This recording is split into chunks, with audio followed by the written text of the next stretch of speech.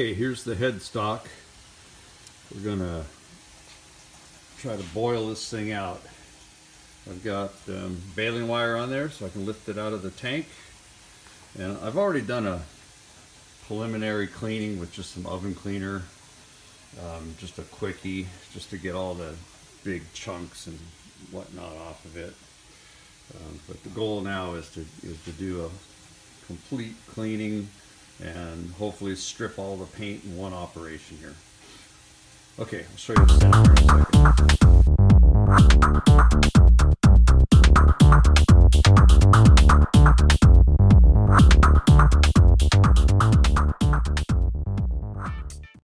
Okay, here's my redneck engineered um, parts cleaning hot tank.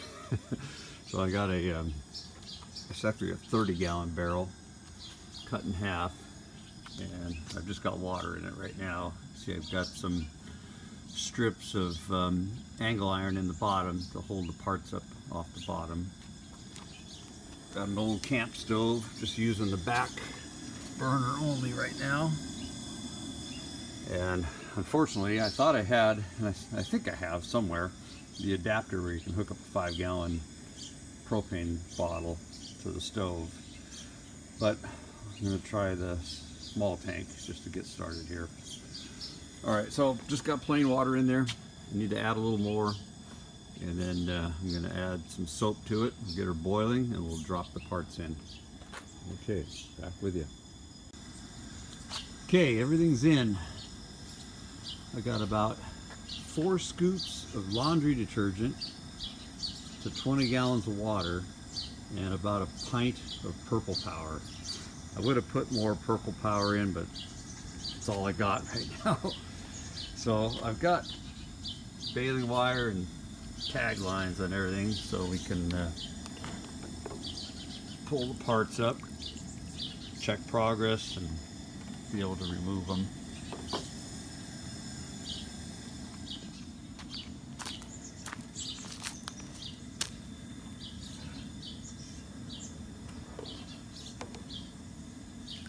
There's the cone I don't think that's rust. I think that's just... Right, I'm going to keep a close eye on that one. So, anyways, we're cooking. Keep you guys up to date here. I think I might grab the big torch and see if I can get it up to boiling a little quicker. Alright, so we're still cooking. The uh, the Coleman stove is a little wimpy, but it's keeping it just under boiling. It's trying to boil. I've had to um, heat it up with the big torch to get it up to temperature, but it seems to be holding.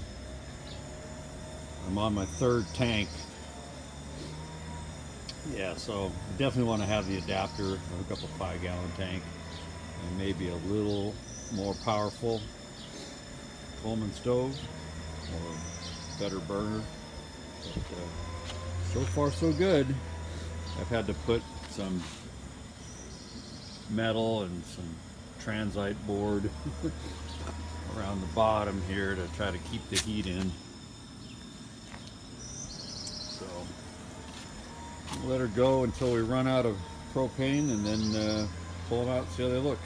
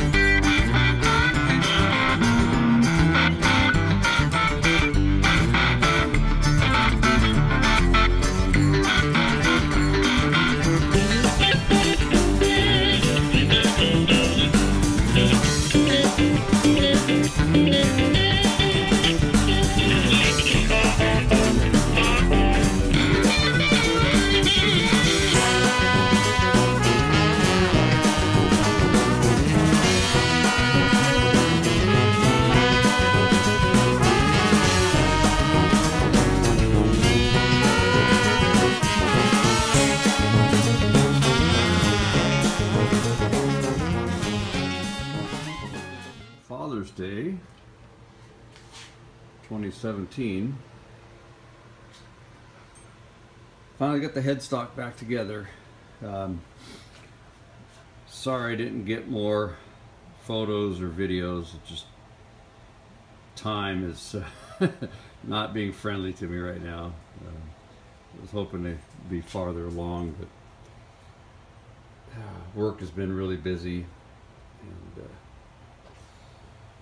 just needed to get some progress done on this thing. So, anyways, out here with uh, Sullivan the shop dog. Hey, buddy, you ready to supervise? Yeah. Okay. yeah. So, anyways, it's supposed to be 100 degrees today, or about 37 degrees C for you metric guys. But anyways, here's the headstock. Back together. I use the uh, Super Lube um, instead of oil. Uh, everything's running nice and free. Here's our, I got it in, uh, I got the pin pulled right now, so we can put her in back gear here. There we go. And everything's turning nice.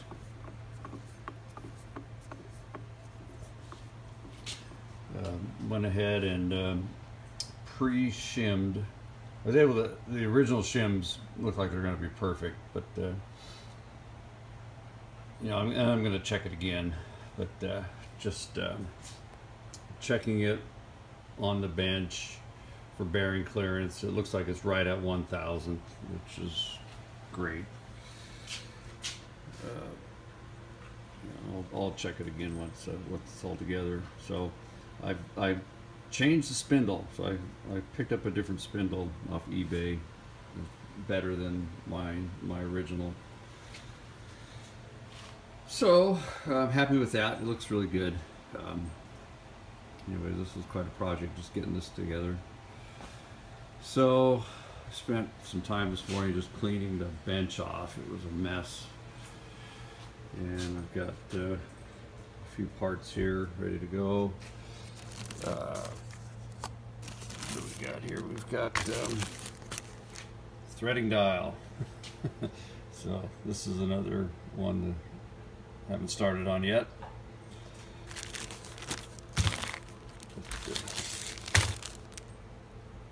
Eh, it's going to take a pretty good cleanup, but anyways, here's the threading dial. Kind of saving that for toward the end. And I've been working on the bed here. Uh, this is uh, this is not the original bed for the machine. Uh, this is uh, one I found uh, locally. It's a little newer than mine. I think this is about a 1963 roughly, or no, no. I think it was a 50, late 50s, like a 57 or so. And I was I took a lot of careful measurements to make sure that the mounting holes are the same. The uh, on both ends, dimensions are the same. Uh, one thing that's that is different is the um, the headstock bolt holes here. I believe that this the newer ones use the clamp, a um, clamped onto the dovetails or you know on the ways. So I'm gonna I don't have those components, so I'm gonna have to go with uh, studs. I got to make a stud for the back here. The through bolt will work on this front one because I can access the back. the, there's just no room to um, to get a bolt in of the proper length in this back one here, so I'll have to make a stud. Okay. The, uh, the gear rack is in good shape. I do need to, on the back here, I, I do need to lay out and drill two holes for the um, taper attachment um, stop, stop block. Uh, as far as this bed goes, it's got wear. Um, it's much better than uh, my original bed but it's still got a fair amount of wear.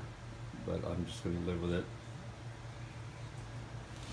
So then over here, that's all again. so here's the rest of the project. Pay no attention to any laundry in the background, but you know, here's the original original bed.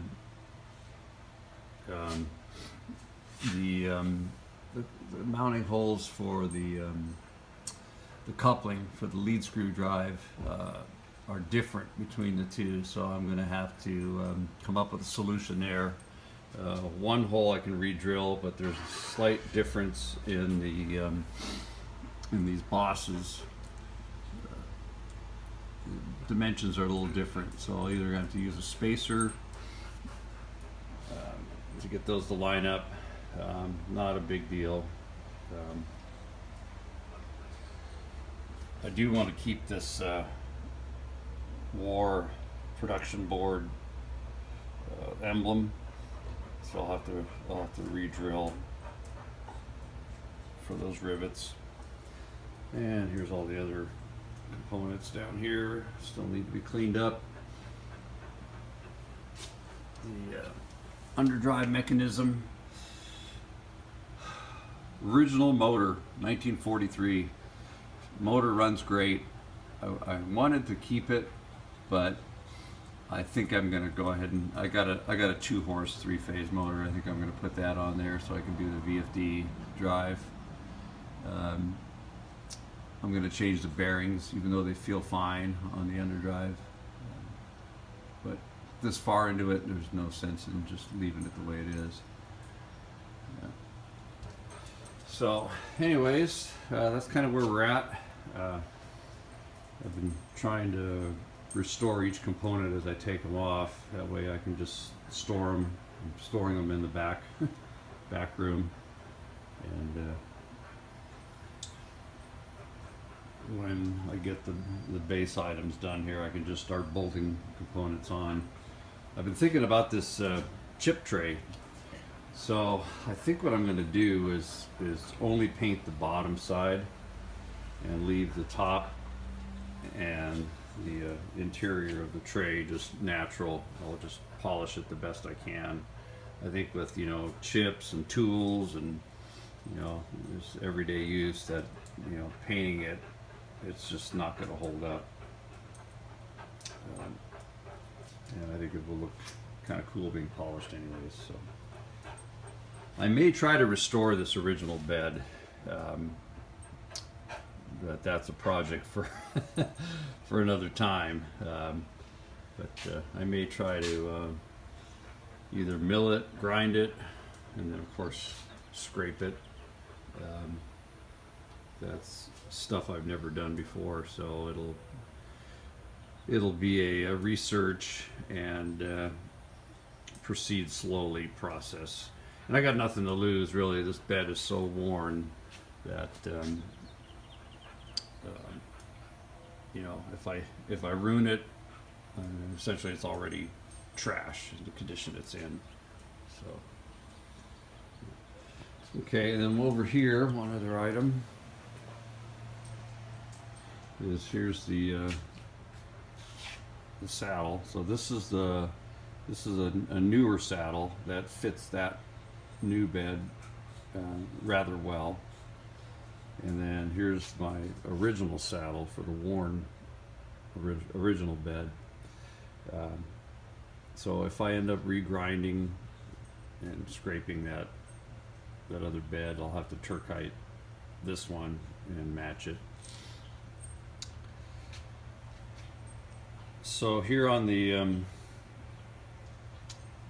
on the saddle, I've still got to put the oil, the, Gits oilers in um, and I don't think I'm going to do anything else to it until it's back on the machine.